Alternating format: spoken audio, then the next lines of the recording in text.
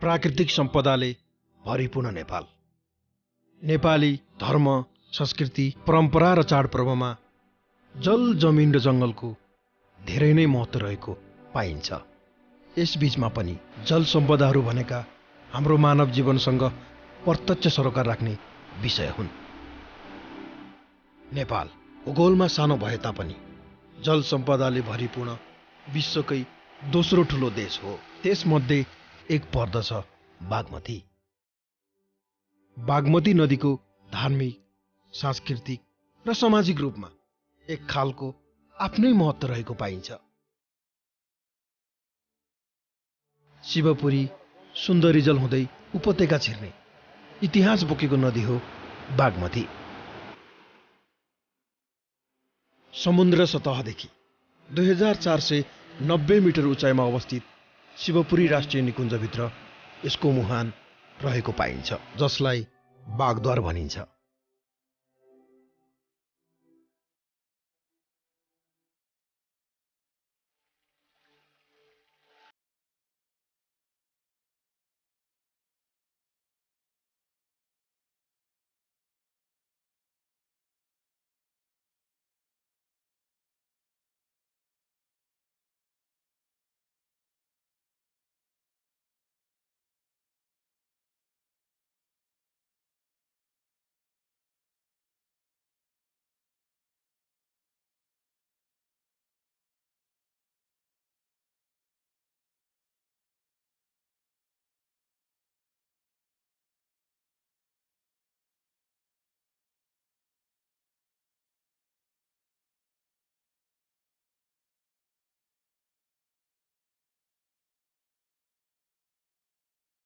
बाहिरिने गर्दछ।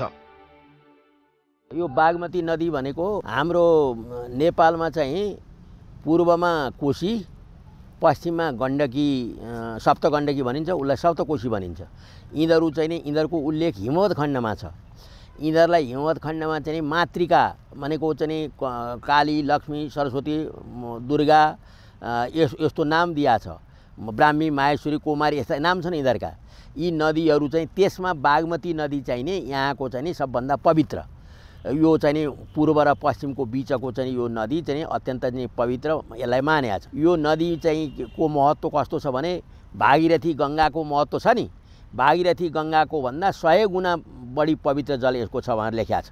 भागीरथ्या शतगुणम पवित्रम तज्जलम स्मृतम लेखिएको छ। भागीरथीभन्दा सय गुणा पवित्र यसको जल छ। यो नदी कसरी निक्ल्यो भनेर लेखिएको छ। ब्रह्माजीले तपस्या गरे शिवपुरीमा बसेर त्यो शिवपुरीमा बसेर तपस्या गर्दा शिवको गरेका थिए शिवजी खुसी भएर आए धेरै तपस्या गर्यौ तिमीले भनेर यसरी मुन्टो हल्लाउनु भयो भगवान् शिवले हल्लाएपछि शिवको चाहिँ नाइटामा अमृत बस्छ यो लेखेको छ त्यो अमृत चाहिँ छचल्किएर चाहिँ नि यहाँ जिब्रामा आयो जिब्रामा आएर चाहिँ त्यो जिब्राबाट चाहिँ भगवान्ले बोल्दाखेरि त्यो छिटा जो निक्ल्यो त्यसबाट बागमती बन्यो त्यसलाई त्यस यस कारणले अमृत वाहिनी पनि भनिन्छ यसलाई अमृत द्रवा द्रवा भनेको झोल यो अमृतको झोल बगेको हो यो बागमतीको भनेर भनेको छ काठमाडौँ उपत्यकाभित्र दहलाई लगातार हिमाल क्षेत्रबाट पानी ल्याउने नदीहरू क्रमशः बागमती र विष्णुमती रहेका थिए जुन आज पनि बग्दैछन्। ती नदीहरूमध्ये प्रमुख बागमतीको उल्लेख विनय पिटक र उद्यानको नन्न बग्मा बग्गमुदाको नाउँबाट तथा मज्जिम निकायको बत्त सुत्तन्त वयसलाई बाहुमती भनेको कम्तीमा तिन सय दुई सय ईसापूर्वमै पाइन्छ। नेपालको पहिलो अभिलेख सम्बत तिन सय उनान्सयमा यस नदीको चर्चा बागवती पार प्रदेशका नाउँले उल्लेख गरेको पाइन्छ।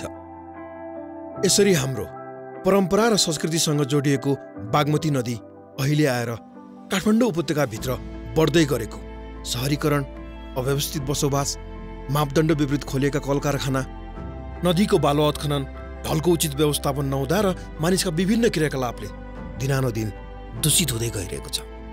यसरी प्रदूषित हुँदै गएको बागमती नदीलाई सुन्दर र शान्त तवरले बगाउने र पुरानै अवस्थामा फर्काउन उपत्यका स्थित बागमती प्रणालीलाई जीवन्त बनाई सोको वातावरणीय विकास गर्ने उद्देश्यले विक्रम सम्पत दुई हजार एकाउन्न साल चैतमा पशुपति क्षेत्र वातावरण सुधार कार्यान्वयन तथा अनुगमन समितिको गठन भएको थियो। विक्रम सम्बत दुई हजार बाहन्न साल मङ्सिरमा अधिकार सम्पन्न पशुपति क्षेत्र ढल निर्माण कार्यान्वयन तथा अनुगमन समितिको गठन भएको थियो। भने यसलाई मूर्त रूप दिन विक्रम सम्बत दुई हजार चौसठी साल ज्येष्ठमा अधिकार सम्पन्न बागमती सभ्यता एकीकृत विकास समितिको नामाकरण गरिएको थियो जसको कार्यक्षेत्रलाई थप विस्तार गरिएको थियो।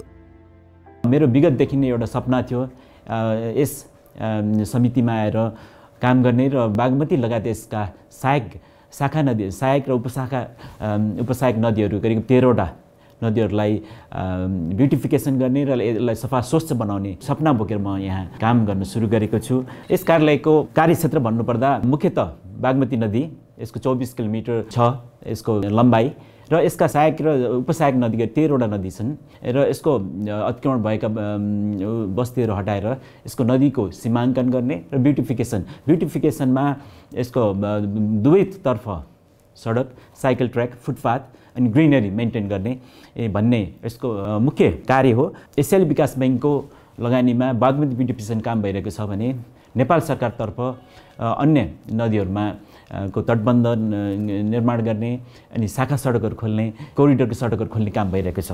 ब्युटिफिकेसन सँगसँगै मन्दिर पार्टी पौवाको पुनर्निर्माणको काम पनि भइरहेको छ। विकास निर्माण कामहरूलाई समयमा सम्पन्न गर्ने गुणस्तरीय रूपमा कार्य सम्पन्न गर्ने र हाम्रो जुन एउटा स्वच्छ बागमती बनाउने स्वच्छ बागमती लगायत सहायक नदी र उपसहायक नदीहरूमा सफा पानी बगाउने हाम्रो भावी योजना हो।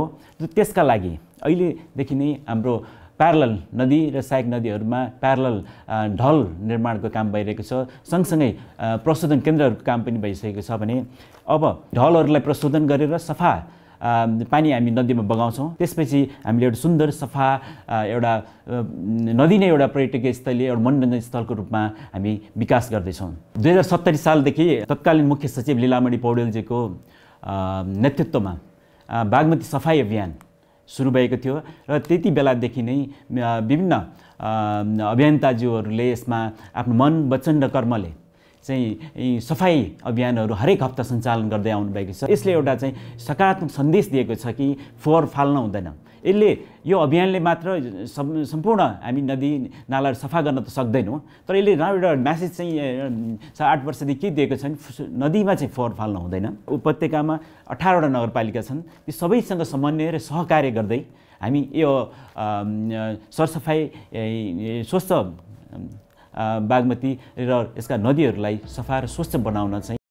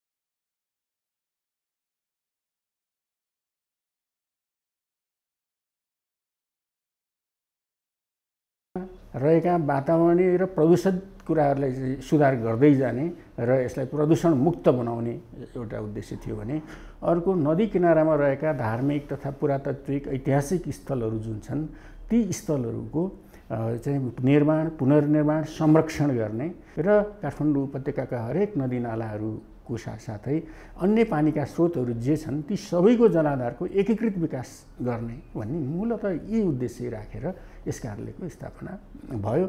बागमती नदीलाई स्वच्छता पवित्रता र ढल रहित ढलमुक्त गर्नको लागि तिनवटा कुराहरू। पहिलो काम त नदीको बहार क्षेत्र मन्त्री परिषदको बैठकबाट चाहिँ कायम भएको छ। त्यो कायम भएको बहाव क्षेत्र र नदी किनारामा छोड्नुपर्ने मापदण्ड कति हो? त्यो निर्धारित छ। त्यो निर्धारित मापदण्ड कायम गर्नको लागि वायु क्षेत्र वाह क्षेत्र कायम गर्ने र नदीको वाह क्षेत्र कायम भइसकेपछि दुवैतर्फ तटबन्ध पर्खाल लगाउने काम चाहिँ हामीले गऱ्यौँ। र त्यसको साथसाथै नदीको तटबन्ध पर्खाल लगाइसकेपछि तटबन्ध पर्खालबाट बाहिर जुन मापदण्डभित्रको क्षेत्रमा ढलको पाइप दुवैतर्फबाट ढलको पाइप बिछ्यायौँ। र त्यो ढलको पाइपबाट सबै चाहिँ बस्तीका ढलहरू चाहिँ हामीले ट्याप गरेर लिएर गयौँ। र तेस्रो कुरो के छ भने नदी किनारामा कोरिडोर निर्माण। र अर्को चौथो थप कुरा के हो भने कोरिडोर निर्माण भइसकेपछि उदाहरणको लागि बागमती नदीको सिमानाबाट बिस मिटर हाम्रो मापदण्ड छ। त्यसमा करिब दस मिटर सडकले कभर गरेको छ भने बाँकी दस मिटर नदीतर्फ चाहिँ ब्युटिफिकेसन पार्क निर्माण लगायत ब्युटिफिकेसनको वृक्षारोपण लगायतको कामहरू हामीले सञ्चालन गरेर बागमती नदीको साथसाथै अरू थप नौवटा नदीहरूमा हामी गइसकेका छौँ। विशेष गरेर हामी बल्खु नदीमा गयौँ। बल्खुमा एउटा प्याकेजमा काम भइरहेको छ। त्यस्तै गरी विष्णुमतीमा दुईवटा प्याकेजको काम सम्पन्न भइसकेको छ। करिब करिब छ किलोमिटर बल्खुमा एक्काइस सय मिटरको काम भइरहेको छ। त्यस्तै गरेर हामी आयौँ भने यता करिब छ किलोमिटर धोबी खोलामा यी सबै काम सम्पन्न भइसकेको अवस्था छ।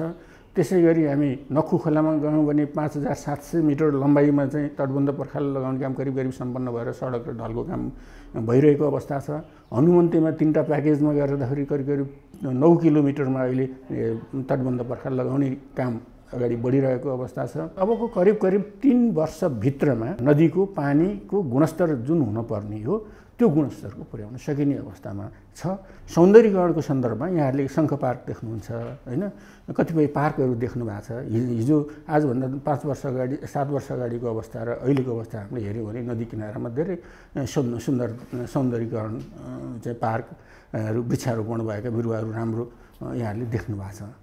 यसै साथसाथै हामीले मोनुमेन्टका कामहरू छब्बिसवटा मोनुमेन्टका कामहरू मोनुमेन्ट भन्नाले ऐतिहासिक पुरातात्विक धार्मिक स्थलहरू मठ मन्दिर धर्मशाला लगायतका कुराहरूको चाहिँ थापाथली पुलबाट उता विष्णुमती दोभानसम्म छब्बिसवटा मोनुमेन्टको कामहरू चाहिँ अगाडि बढिरहेछ पुनर्निर्माणको काम अगाडि बढिरहेछ भने माथि उत्तर गयामा पनि चाहिँ मोनुमेन्टको कामहरू भइरहेछ। त्यस्तै गरी गोकर्णमा पनि अहिले अहिले गोकर्ण मन्दिर आसपासमा पनि काम भइरहेको अवस्था छ। यी कार्यक्रमहरूले निरन्तरता पाएसँगै जनमानसमा हाम्रा जल सम्पदाहरूको संरक्षण र सम्वर्धनमा साथ भयो भने बागमती र यसका सहायक नदीहरूलाई स्वच्छ स्वस्थ हराभरा तथा जीवन्त रूपमा फर्काउन सकिनेछ। मानव सभ्यताहरू नदीसँग जलजन्य सभ्यतासँग धेरै अनुन्यासित रूपमा जोडिएको छ गाँसेको छ। पहिलादेखि नै हाम्रो इतिहास विश्व इतिहास हेर्ने हो भने पनि सिन्धु घाटीका सभ्यताहरू मेसापोटेनियाका सभ्यताहरू मानव सभ्यताहरू सबै यो चाहिँ जलको आधारमा नै आधारित भएर अगाडि बढिआएको हामी पाउँछौँ। नदीका किनारहरूमा मान्छेको सभ्यताहरू पहिलादेखि नै धेरै विकास भएर उन्नत अवस्थामा आएको छ र आज पनि त्यही अवस्थामा रहेको छ। तर हाम्रो विडम्बना यहाँ के भएको छ भनेदेखि काठमाडौँ उपत्यकाको एउटा देशको राजधानी सहर यहाँ छ। यसका चाहिँ केही नदीहरू छन् जसमध्ये बागमती एउटा प्रमुख नदी हो। यो प्रमुख नदी यो मानव प्रदूषणको कारणले अथवा अन्य विभिन्न वातावरणीय प्रदूषणको कारणले गर्दाखेरि धेरै नै दुर्गन्धित अवस्थामा पुगेको छ। यहाँका चाहिँ इको सिस्टमहरू बायोलोजीहरू सबै सिस्टमहरू खराब भएका छन् प्रदूषित भएको छ। नदीले सहरको सभ्यतालाई बढाउनु पर्ने यसको चाहिँ पर्यटकीय विस्तारको लागि चाहिँ एउटा साधक बन्नुपर्ने ठाउँमा नदीले उल्टो हाम्रो सभ्यतालाई हाम्रो चाहिँ काठमाडौँको साखलाई गौरवलाई यसले चाहिँ झन् गिर्दो क्रममा लैराखेको महसुस भएको छ। पानीको मात्राको कुरा गर्दाखेरि अब हाम्रो देशमा झन्डै एट्टी पर्सेन्ट पानी चाहिँ रेनफल चाहिँ मनसुन सिजनमा हुन्छ। अब यो अवस्थामा हामीले वर्षाको पानीलाई स्टोर गरेर राख्न सक्यौँ भने ड्राई सिजनमा हामीले त्यसलाई बहावमा मा परिणत गर्न सक्छौँ र यही उपायलाई चाहिँ अवलम्बन गर्दै हामी ड्यामहरू निर्माण गर्दैछौँ। यसको क्याचमेन्ट एरियामा माथि शिवपुरी राष्ट्रिय निकुञ्जको क्षेत्रमा। हाल अहिले हामीले धाप ड्याम नामक ड्याम निर्माण गर्दैछौँ जो चाहिँ शिवपुरीको करिब करिब एक्काइस सय मिटरको अल्टिच्युडमा यो चाहिँ निर्माण भइरहेको छ। यो ड्याम करिब पाँच वर्ष अगाडिबाट सुरु भएको हो। त्यसपछि डिजाइन हुने र निर्माण हुने काम पनि अगाडि बढिरहेको छ। अलिकति हाम्रो संरक्षित क्षेत्रमा भएको कारणले गर्दाखेरि अलिकति प्रक्रियाहरू पार गर्नु परेको हुनाले अलिकति टाइम लागेको छ यसलाई तथापि निरन्तर रूपमा निर्माण गइरहेको छ। अहिलेसम्म यो ड्यामको निर्माण प्रगति करिब करिब एट्टी पर्सेन्ट पुगिसकेको छ र अब यसलाई हामीले यो वर्षको अन्तिमसम्ममा सक्ने सम्पन्न गर्ने लक्ष्य राखेका छौँ।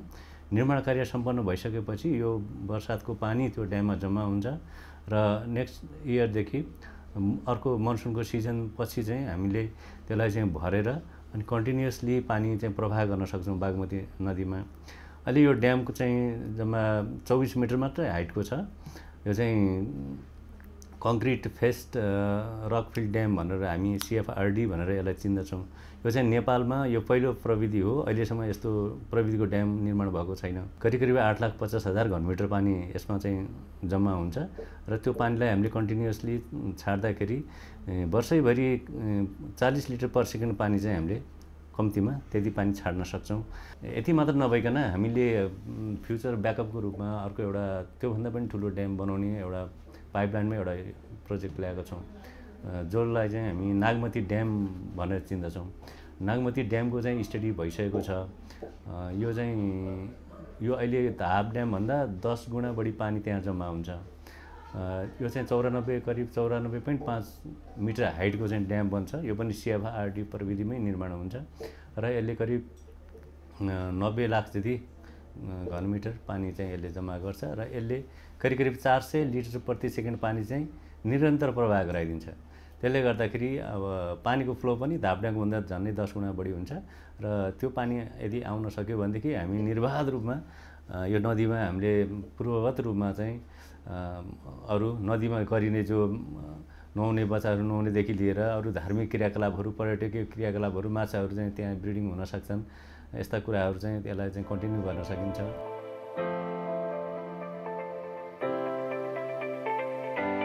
दुई हजार बाहन्न त्रिपन्न सालतिर अधिकार सम्पन्न बागमती सभ्यता एकीकृत विकास समितिले निर्माण गरेको सिक्सटिन पोइन्ट टू एमएलडी क्षमताको प्रशोधन केन्द्रले प्रशोधन गर्न ओभर क्यापेसिटेड भएको हुनाले त्योसँग थप सोह्र पोइन्ट दुई एमएलडी गरेर बत्तिस पोइन्ट चार एमएलडीको चाहिँ हामीले प्रशोधन केन्द्र निर्माण गरेका छौँ। चार वर्ष अगाडि सञ्चालित यो प्रोजेक्ट हाल सम्पन्न हुने अवस्थामा छ। डिजाइन बिल्ड अपरेट सिस्टममा बनेको प्रोजेक्ट हुनाले डिजाइन पनि कन्ट्र्याक्टरबाट गर्ने निर्माण गर्ने र त्यसलाई दस वर्षसम्म सञ्चालन गर्ने जिम्मा पनि निर्माण व्यवसायकै रहन्छ। र गुहेश्वरी प्लान्टकै विषयमा भन्नुपर्दाखेरि यो विशेष अत्याधुनिक प्लान्ट हो र यो गुहेश्वरी ट्रिटमेन्ट प्लान्ट चाहिँ गन्ध नआउने किसिमको यो डिअडराइजेसन युनिट समेत राखेर चाहिँ थप गरिएको छ। र गन्ध आउने जुनबाट गन्ध आउने प्लान्टहरू छन् स्ट्रक्चरहरू छन् तिनीहरू चाहिँ के अरे बन्द गरिएको छ ढक्कन लगाइएको छ। त्यसले गर्दाखेरि समुदायमा पर्ने असरलाई पनि यसले यसले विशेष ध्यान पुर्याएको छ। र गुहेश्वरीबाट हामीले अहिले करिब करिब तिन सय पचहत्तर लिटर प्रति सेकेन्ड पानी। भन्नुपर्दाखेरि अहिले जुन अहिलेको अवस्थामा बागमतीमा जुन सुक्खा अवस्थामा बस्छ नि त्योभन्दा करिब करिब त्यही बराबरको पानी चाहिँ हामीले बागमतीमा गुहेश्वरको माथिपट्टि छोड्छौँ। र त्यसले गर्दाखेरि एक किलोमिटर तल जुन पशुपति एरियामा आइपुग्दाखेरि धेरै रूपमा कञ्चन भएर बगि बगिरहेको स्थिति देखिन्छ र यसले बागमतीको यो जुन रूपलाई आमूल परिवर्तन गर्ने हामीले विशेष अपेक्षा लिएका छौँ।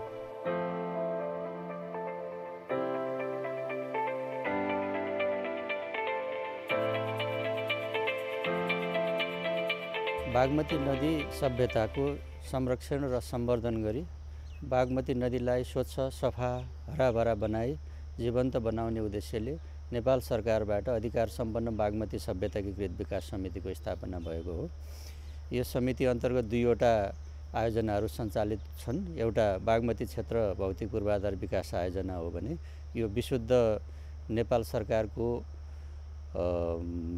अनुदान सहयोगमा सञ्चालित आयोजना हो भने अर्को बागमती सुधार आयोजना नेपाल सरकार तथा एसियाली विकास बैङ्कको संयुक्त लगानीमा सञ्चालित आयोजना हो। आयोजनासँग सम्बन्धित प्राविधिक कामहरू प्राविधिक शाखाबाट सञ्चालित हुन्छ भने सामाजिक कामहरूको दाय हेर्ने दायित्व चाहिँ यस शाखालाई सुम्पिदिएको छ। बागमती नदीलाई स्वच्छ सफा र जीवन्त बनाउनको लागि समाजमा भइरहेका अनियन्त्रित गतिविधिहरूलाई रोकथाम गरी सामा समाजमा जनचेतना अभिवृद्धि गरी फोहोरको मात्रालाई बागमती नदी तथा यसका सहायक नदीको किनारसम्म आउन नदिनको लागि विविध प्रकारका गतिविधिहरू सञ्चालन गरिरहेका छन् जसको कारणबाट जनचेतनामूलक कार्यक्रमहरू सञ्चालन गर्ने क्रममा बागमती नदी सरसफाइ महाअभियान पनि एउटा प्रमुख कार्यक्रम हो। सुरुमा यस अभियानको मुख्यतया तिनवटा उद्देश्य राखेर यो अभियान सञ्चालन भएको थियो। पहिलो उद्देश्य भनेको बागमती नदी तथा यसका सहायक नदीहरूको आसपासमा उसको क्षेत्रभित्र रहेका ठोस फोहोरहरूलाई नदीको किनार नदीबाट निकाल्ने पहिलो उद्देश्य थियो भने यस अभियानको। दोस्रो उद्देश्य फोहोर निकालिसके नदीबाट फोहोर निकालिसकेपछि सो स्थानमा पुनः फोहोर चाहिँ हुन नदिनलाई जनचेतनामूलक कार्यक्रमहरू सञ्चालन गर्ने। त्यस अन्तर्गत घर दैलो कार्यक्रम सञ्चालन गर्ने कम्पोस्ट मल बनाउने कार्यक्रम सञ्चालन गर्ने दैनिक रूपमा हाम्रा लेन्थ वर्कर जसले नदी सफाइ चाहिँ कामदारहरूबाट दैनिक रूपमा नदीका नदी सफाइ र नदी वरपरका बगैँचाहरूको गोडमेल संरक्षण र सम्वर्धन गर्ने कार्यहरू गरिरहेको छ भने तेस्रो उद्देश्य यदि जनचेतनामूलक कार्यक्रम मार्फत पनि पनि नदीमा फोहोर फाल्ने क्रम नरोकिएमा फोहोर फाल्नेलाई दण्डित गर्ने नीति भनेर यो तिनवटा उद्देश्य लिएर कार्यक्रम सञ्चालन गरिरहेकोमा मूलत यो बागमती सफाइ महाअभियानको हालसम्मको अवस्था आइपुग्दाखेरि बागमती नदीबाट पन्ध्र हजार मेट्रिक टनभन्दा बढी ठोस फोहोर निकालिसकिएको छ भने पच्चिस सयवटा भन्दा बढी सङ्घ संस्थाहरूको प्रत्यक्ष सहभाग संलग्नता रहेको छ। प्रत्यक्ष र अप्रत्यक्ष रूपमा दस लाखभन्दा बढी मान्छेको नदी सफाइ सम्बन्धी कार्यमा हातेमालो हुँदै छ भने स्थानीय तहबाट चाहिँ फोहोर फाल्नेलाई दण्डित गर्नको लागि सो कानुनको प्रयोग गरेको पाइएन।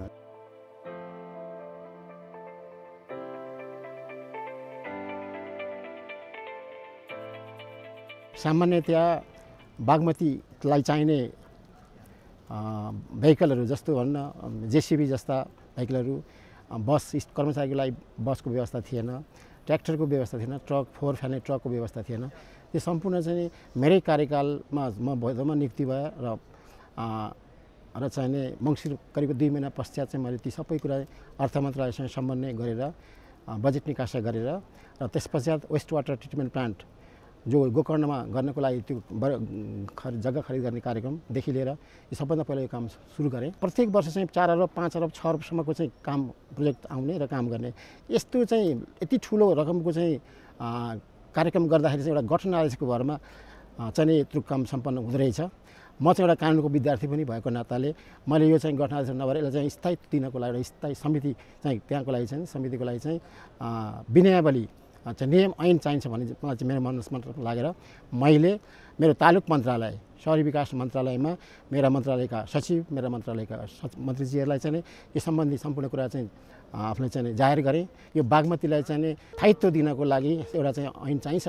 यसकारण चाहिँ कुनै पनि हालतमा ऐन व्यवस्था गर्नु भन्ने किसिमको आदेश प्राप्त भयो। सर्वोच्चको आदेश पश्चात कानुन मन्त्रालयले चाहिँ हामीलाई त्यो स्वीकृति प्रदान दियो।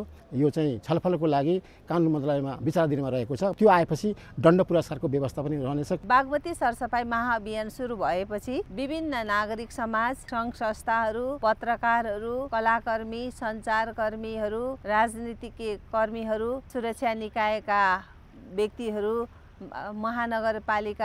महानगरपालिकाका विभिन्न व्यक्तिहरू चाहिँ एकै ठाउँमा जुटेर हामी शनिबार हरेक हप्ता बिहान दुई घन्टा चाहिँ सरसफाइमा संलग्न हुने गरेका थियौँ। कोही खोलाभित्र पसेर फोहोर टिप्नुहुन्थ्यो भने कोही खोलाको किनारामा भएको फोहोरहरू टिप्नुहुन्थ्यो। कोही चाहिने त्यो फोहोरलाई चाहिँ गाडीसम्म लगेर फाल्ने काम गर्नुहुन्थ्यो भने गाडीले चाहिँ फेरि डम्पिङ साइडमा लगेर फोहोरलाई व्यवस्थापन गर्ने कार्यहरू चाहिँ हाम्रो भइरहन्थ्यो। अनि यसमा चाहिँ नि अधिकार सम्पन्न बागमती सभ्यताले मार्क्स पन्जाहरू जे लजिस्टिक सपोर्टहरू चाहिँ उहाँबाट सपोर्ट हुन्थ्यो।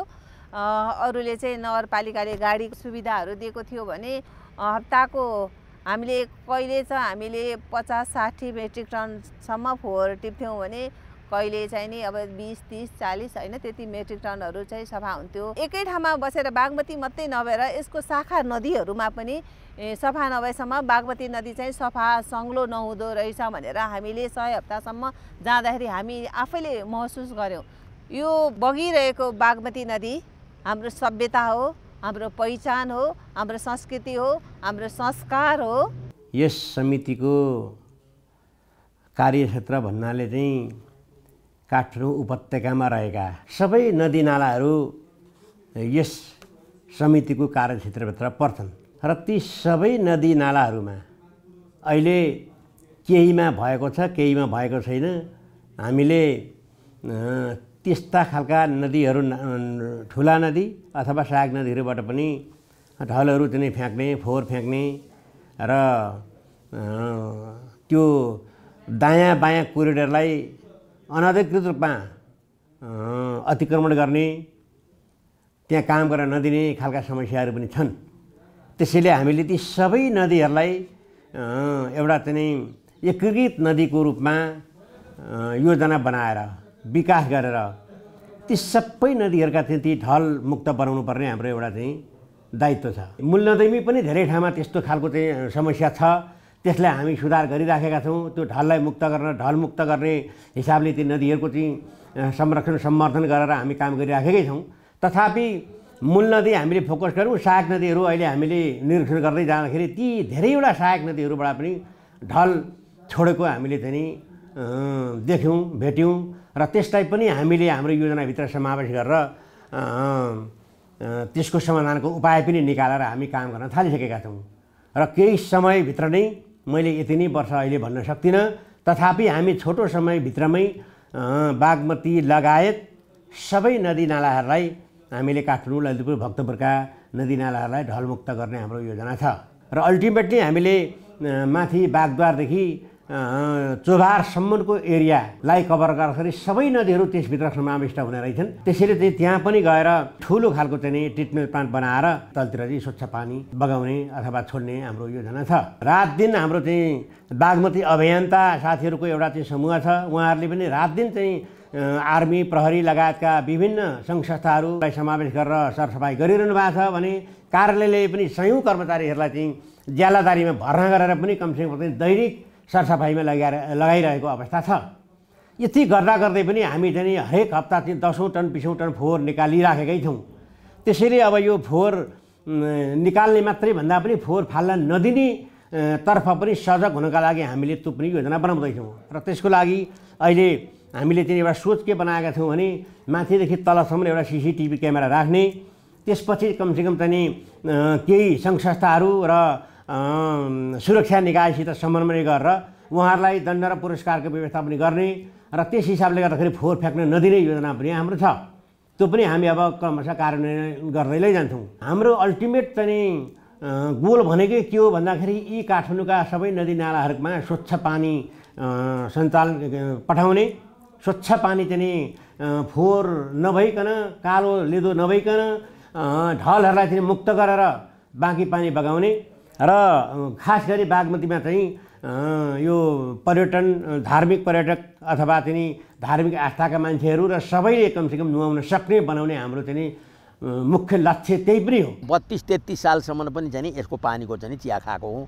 अब म चाहिँ नुहाउने ठाउँ पनि यो चाहिँ बागमतीमा म बत्तिस पुतलीमा बस्दा बागमतीमा म चार बजी नुहाउन आउँथेँ। बागमतीमा पोखरी बन्नुपर्छ बागमतीमा निलो कञ्चन पानी हुनुपर्छ बागमतीमा चरा चुरुङ्गी हाँस आएर बस्ने खेल्ने हुनुपर्छ बागमतीमा माछाहरू कति सियो कति बिओडी कति सिओडी हुँदा माछा मान्छ त्योभन्दा बढी चाहिँ राम्रो चाहिँ के भनेदेखि चाहिँ त्यो रि- रिफाइन बागमती हुनु पऱ्यो माछाहरू खेल्नु पऱ्यो हाँसहरू खेल्नु पऱ्यो चराचुरुङ्गी हेर्नु पऱ्यो गाई बस्तु बाछा बाख्रा साख्रा के हुन्छ हाम्रो यहाँ हर मृग सृग उनीहरूले पानी खानु पऱ्यो मृग चर्न पाउनु पऱ्यो यस्तो बागमती चाहिँ हुनु पऱ्यो